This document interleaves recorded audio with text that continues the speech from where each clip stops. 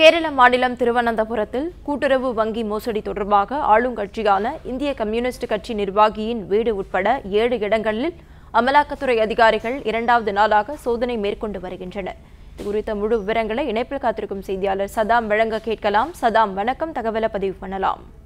வணக்கம். அதாவது கேரள மாநிலம் திருவனந்தபுரம் அருகே அருகே உள்ள கண்டால பகுதியில் அமைந்துள்ள கூட்டுறவு வங்கியில் ரூபாய் நூற்றி நூத்தி ஒரு கோடி கோடி அளவில் மோசடி நடைபெற்றுள்ளதாக தணிக்கையில் கண்டறியப்பட்டது. இது தொடர்பான விவகாரம் விஸ்வரூபம் இடத்தை தொடர்ந்து அமலாக்கத்துறை விவகாரத்தில் கலந்திறங்கியது ஏற்கனவே மோசடி தொடர்பான பல்வேறு விவரங்களை சேகரித்த அமலாக்கத்துறை நேற்று இன்று என அதிரடி சோதனையில் ஈடுபட்டு வருகிறது. இந்த மோசடியில் முக்கிய நபராக கருதப்படும் சிபிஐ கட்சியில் நிர்வாகியும் மற்றும் இந்த கூட்டுறவு சங்கத்தின் முன்னாள் தலைவருமான பாசுரங்கன் சம்பந்தப்பட்ட இடங்களில் சோதனை சோதனையில் ஈடுபட்டு வருகிறது.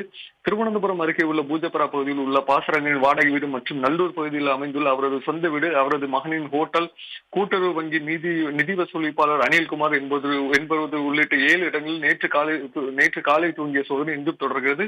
இதற்கிடையே பாசரங்கனுக்கு உடல்நிலை பாதிக்கப்பட்டுள்ளதாக கூறி அவர் மருத்துவமனையில் அனுமதிக்கப்பட்ட நிலையில் காவலில் காவலில் எடுத்து விசாரணை செய்யும் அமலாக்கத்துறை அதிகாரிகள் நடவடிக்கை மேற்கொண்டு வருகின்றனர். தகவல்களுக்கு நன்றி சதாம்.